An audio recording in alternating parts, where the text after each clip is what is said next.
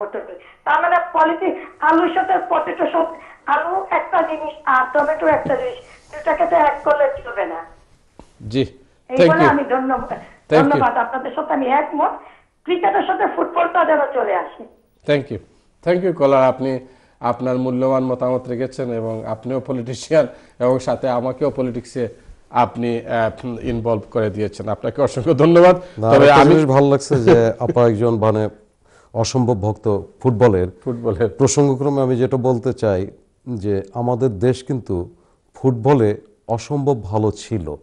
কিন্তু দুর্ভাগ্য আমাদের যে ফুটবল বাংলাদেশের ফুটবল কোথায় যে হারিয়ে গেল মানে আমরা জানি না। আর আপা যে জিনিসটা বললেন ক্রিকেট খেলা পাকিস্তানের খেলা এটা কিন্তু আসলে ঠিক না। ক্রিকেট তো আসলে আমি যদি ভুল না বলি এই যে আমি যে দেশে বসে আছি ইংল্যান্ডেরই আবিষ্কার। Thank you thank you Mohan ভাই দেখি নেক্সট কে আছেন লাইনে হ্যালো সালাম আলাইকুম হ্যালো আসসালামু আলাইকুম আলাইকুম সালাম কে বলছেন জি হ্যালো জি আপনি টেলিভিশনের ভলিউম কমিয়ে দিতে হবে বড় ভাই প্লিজ ভাইয়া আমি সিলেটের একজন জি। আমি পেশারান্ট একবার ঢাকায় গেছিলাম জি হ্যালো জি শুনতে পাচ্ছেন ক্লিয়ারলি জি জি, আপনাকে। শুনতে পাচ্ছি আমরা আচ্ছা আমি পেশারান্টে ঢাকায় গেছিলাম বুঝছেন? ঢাকায় আমি সিলেট থেকে আমি নাম বলতেছি না বাট এক নম্বর হয়েছিলাম সিলেট জেলা থেকে। মানে খুব খুব কম সময়ে আমি ঢাকায় বলতে চান্স পাইছি আর কি। তারপর দেড়শো জন ছিল আমরা অল বাংলাদেশ থেকে। তারপর দেড়শো জন থেকে সিলেকশন করে বিশ জনে আসছিল। তার ওই জায়গায় আমি ছিলাম। তারপর দেখা গেল বিভিন্ন জায়গা থেকে ফোন আসতেছে এমপি মোদির ফোন আসতেছে বা এরকম আসতেছে। বা এন্ড অফ দ্য টাইম সবাই বলছে আমি চান্স পাবো। বা এন্ড অফ দ্য টাইম দেখা যায় এখানে পলিটিক্যাল কিছু কন্ডিশন আছে। তা আমাকে জিজ্ঞেস করা হয়েছে আমি কোন দল করি? আমি আসলে বলছি আমি কোনো পলিটিক্সই নাই। এন্ড অফ দ্য টাইম কিন্তু আমি চান্স পাই নাই। কিন্তু আমি নর্মালি এক থেকে দুই নম্বরেই ছিলাম মানে বোলিং এর দিক দিয়ে সবাই বলছিলাম চান্স পাবো। কিন্তু এই পলিটিক্যাল কন্ডিশনের জন্য আমি পাই নাই বুঝছেন? কিন্তু টিভির পর্দায় যারা আসে বা রাজনৈতিক বলেন বা ক্রিকেটার বলেন, যাই বলেন বা যারা উপস্থাপনা করে, আমি আপনাকে বলতেছি না। মানে সবই ট্রুলি কথা বলে সবই মানে খুব রাইট ওয়েতে কথা বলে। কিন্তু টিভির পর্দা থেকে সরে গেলেই কিন্তু তাদের চেহারাটা, হাবভাবটা বা কথাবার্তাটা অন্যরকম হয়ে যায়। সো এগুলা থেকে কি আমরা বেরিয়ে আসতে পারব? না এই খালেদা বা হাসিনা বা আওয়ামী লীগ বিএনপির মতো আমরা সারা জীবন এভাবেই খেলাধুলায়ও পলিটিক্স বাইরেও পলিটিক্স মসজিদেও পলিটিক্স সব জায়গায় এরকম থাকবে। আমি আসলে মানে এই জিনিসটা ক্লিয়ারলি জানতে চাচ্ছি। আমি এখন ক্রিকেট খেলায় মানে বাংলাদেশের ফার্স্ট বোলার হতাম জাতীয় দলে কিন্তু আমি আজ ওয়েটারই করতেছি লন্ডনে এসে। সো আমার লাইফটা হওয়ার মানে মেইন কারণটা কি? আপনারা কি একটু ক্লিয়ারলি বলবেন? ওকে কলার আপনি মোহন ভাই আপনার প্রশ্নের উত্তর দিবেন। তার আগে আপনাকে যেটি অনুরোধ করছি আমি সেটি হচ্ছে যে আপনার টেলিফোন নম্বরটা আপনি আমাদের কন্ট্রোল রুমে আপনি রেখে দিবেন প্লিজ ওকে মোহন ভাই আপনি এটা জি। আচ্ছা ঠিক আছে ঠিক আছে। ওকে আপনি এই প্রশ্নের উত্তর কি বলবেন? এই প্রশ্নের উত্তরটা হচ্ছে অত্যন্ত দুঃখজনক আর ওনার কথায় যে হতাশার আগুন ঝরে পড়ছে এটা আসলে জাতির জন্য লজ্জার।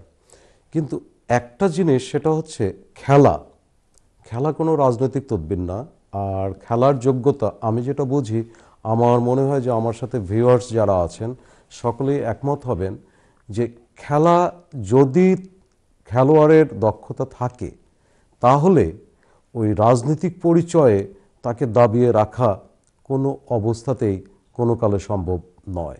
এবং তাই যদি হতো, তাহলে আজকে আমরা মেসিকে দেখতে পেতাম না, ম্যারাডোনাকেও দেখতে পেতাম না, পেলেকেও দেখতে পেতাম না। কেননা এদের প্রত্যেকেরই উত্থান ছিল অত্যন্ত নিম্ন অবস্থা থেকে সমাজের। তো তাদের কোনো প্রকার কোনো তদবির ছিল না। তাদের ছিল পায়ের জাদু। ঠিক ক্রিকেটারের যখন তার বোলিং বা ব্যাটিং ঠিক থাকবে, সে আমার মনে হয় সাময়িক সময়ের জন্য তাকে হয়তো বঞ্চিত করা যেতে পারে। কিন্তু লং রানে পার্মানেন্টলি তাকে স্টপ করে দেওয়া, এটা আমি বিশ্বাস করতে পারছি না। থ্যাংক ইউ আমার কাছে প্রচুর এস এম এস মোহন ভাই। আমরা অনুষ্ঠানের প্রায় শেষ পর্যায়ে আমরা দেড় ঘণ্টা কিন্তু কথা বলেছি। তাই নাকি? হ্যাঁ, আসলে আমরা সময় দেড় ঘণ্টা কথা বলেছি আমার কাছে প্রচুর এস এম এস তবে একটি এস এম এস পড়তে হচ্ছে আমাকে সুয়েব অ্যান্ড মোহন ভাই বোথ টেক মাই সালাম ক্যান আই আস্ক মোহন ভাই next BPL bring any Indian cricketer Indian ক্রিকেটের ব্যাপারটা আমরা প্রায়শই প্রশ্নের সম্মুখীন হচ্ছি। আমাদের খেয়াল করতে হবে আমরা যদি খেয়াল করি এখন যে other then Indian premier league আপনার ইন্ডিয়ান ক্রিকেট প্লেয়ার পৃথিবীর কোথাও কোনো লিগ খেলে না। অস্ট্রেলিয়াও না, ইংল্যান্ডেও না, আপনার সাউথ আফ্রিকাতেও না। সুতরাং ওই বাংলাদেশে খেলবে এটার সুযোগ বা সম্ভাবনা আদৌ নেই। যখন আইপিএল তাদেরকে ওপেন করে দেবে পৃথিবীর অন্যান্য দেশের টি টোয়েন্টি টুর্নামেন্টের জন্য, আমার বিশ্বাস খুব স্বভাবতই বাংলাদেশেও খেলবে।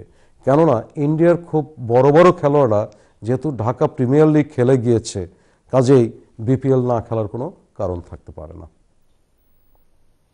থ্যাংক ইউ আরেকটি S M S we should feel very proud of our cricket team এবং so many problems corruption chaos lack of accountability cricketer is our great beacon of hope we need to stand by our team in both success and failure we need to inspire them always what they need is self confidence which we, which we people can uh, insist in them. Thanks shakila. Shakila আপনার S M এর জন্য ধন্যবাদ এবং আগের যেটি S M S এর উত্তর দিয়েছেন ইন্ডিয়ান ক্রিকেটের ব্যাপারে আপনার নাম দেননি। আপনাদেরকে অসংখ্য ধন্যবাদ এবং আহ, আরও যারা এস এম এস করেছেন আমি দুঃখিত আমরা এস এম এস পড়তে পারছি না আমাদের আমি পরিশেষে একটা জিনিস বলতে চাই। আমি এই অনুষ্ঠানের মাধ্যমে যেটা আমি উপলব্ধিতে আনতে পারলাম, সেটা হচ্ছে আসলেই মানে প্রবাসী দর্শকরা ক্রিকেটকে পাগলের মতো ভালোবাসেন মানে যেটা একেবারে আনকন্ডিশনাল আমি বিনীতভাবে আপনাদেরকে একটা অনুরোধ করব, সেটা হচ্ছে আপনারা অবশ্যই দোয়া করবেন দোয়া করবেন বাংলাদেশ ক্রিকেট টিম যেন ভালো করে, উত্তরোত্তর তাদের সমৃদ্ধি হয়। পাশাপাশি আপনাদের প্রত্যাশা বেলুনকে ফুলিয়ে খুব বেশি বড় করবেন না, যেটা ফুটে গেলে কষ্ট পেতে হবে। আমাদের বাস্তবতায় নেমে আসতে হবে। খেলায় হার জিত থাকবেই। আজকে টিম হয়তো জিতবে, আমরা আনন্দ করব। কালকে হারলে আমাদেরকে মানে কারণ খুঁজতে হবে যে কেন আমরা হারলাম, সেটাকে কীভাবে সংশোধিত করে আবার আমরা বিজয়ের ধারায় চলে আসতে পারি। কিন্তু হারলেই যে সমালোচনা, হারলেই তিরস্কার, এটা বোধহয় ঠিক নয়। কারণ দিনের আলো তখনই আমরা অনুভব করি, রাতের যখন আধার আসে।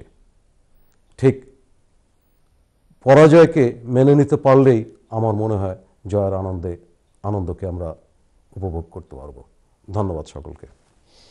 আপনি ইউরোপে প্রচুর দর্শক রয়েছেন আমাদের। চ্যানেল আইয়ের দর্শক এবং প্রবাসী বাঙালি, ইটালিতে, প্যারিসে এবং জার্মানি ব্রাসেলসে স্পেনও আছেন প্রচুর বাঙালি। তাদের উদ্দেশ্যে আপনি কি বলবেন আজকের মতো?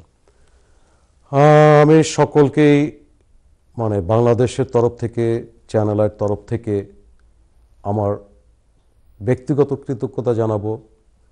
আমি যে জিনিসটা সত্যিই আমার খুব ভালো লাগে যে বাংলাদেশের অর্থনীতিতে আপনারা যে পরিমাণ অবদান রাখছেন, এটা জাতি আপনাদের কাছে কৃতজ্ঞ। খেলাধুলাকে ভালোবাসুন, খেলাধুলাকে সমর্থন করুন, আর আপনাদের সফলতা চলমান থাকুক, ব্যক্তিগতভাবে আমি এই দোয়া করি। আর একটা জিনিস আপনাদের অবশ্যই মনে রাখতে হবে, আপনারা যে এখানে যা কিছুই করছেন, বাংলাদেশকে প্রতিনিধিত্ব করছেন। আপনাদের ভালো জিনিস, ভালো কাজ, বাংলাদেশের সুনামকে যেমন বয়ে আনবে, একটি খারাপ কাজ বাংলাদেশের জন্য দুর্নাম বয়ে আনবে। সুতরাং আপনাদের সকলের জন্য উত্তরোত্তর সমৃদ্ধি ও সফলতা কামনা করি। মোহন ভাই, আপনাকে অসংখ্য ধন্যবাদ আমাদেরকে আজকে সময় দেওয়ার জন্য। চ্যানেল ইউরোপের পক্ষ থেকে আপনার প্রতি অনেক কৃতজ্ঞতা। প্রিয় দর্শক, আমরা অনুষ্ঠানের একদম শেষ পর্যায়ে এবং আমরা কথা বলেছি বাংলাদেশের ক্রিকেট নিয়ে এবং মোহন ভাই কথা বলেছেন, আপনাদের প্রশ্নের জবাব দিয়েছেন। অনেকগুলো প্রশ্ন এসেছিল এবং বেশ কিছু এস এম এসও এসেছিল যেগুলো আমি পড়তে পারিনি। প্রিয় দর্শক, আমরা প্রবাসে যারা রয়েছি, আমরা বাংলাদেশের ভালো চাই, বাংলাদেশের মঙ্গল চাই। একজন কলা শুরুতে বলেছিলেন যে, আওয়ামী লীগ, বিএনপি, রাজনীতি হানাহানি চলতে পারে, কিন্তু ক্রিকেট হোক আর ফুটবল হোক সেটি হবে সব রাজনীতির ঊর্ধ্বে। বাংলাদেশের পরিচয় বহন করতে পারে ক্রিকেট, বাংলাদেশের পরিচয় বহন করতে পারে ফুটবল। আমরা চাই বাংলাদেশ দাঁড়িয়ে যাক, যেমনিভাবে দাঁড়িয়ে গেছে গার্মেন্টস শিল্পে বাংলাদেশ প্রতিষ্ঠিত হয়েছে, আমরা চাই আগামী দিনগুলোতে ক্রিকেটও বাংলাদেশে প্রতিষ্ঠিত হবে এবং ক্রিকেট বাংলাদেশের সুনাম বয়ে আনবে। আপনারা যে যেখানে থাকুন, ভালো থাকবেন। আপনাদের সবার জন্য শুভকামনা। এই অনুষ্ঠানের মাধ্যমে যদি কোনো ধরনের ভুল ত্রুটি হয়ে থাকে, প্রিয় দর্শক, আমাদের ক্ষমা- সুন্দর দৃষ্টিতে দেখবেন। আসসালামু আলাইকুম।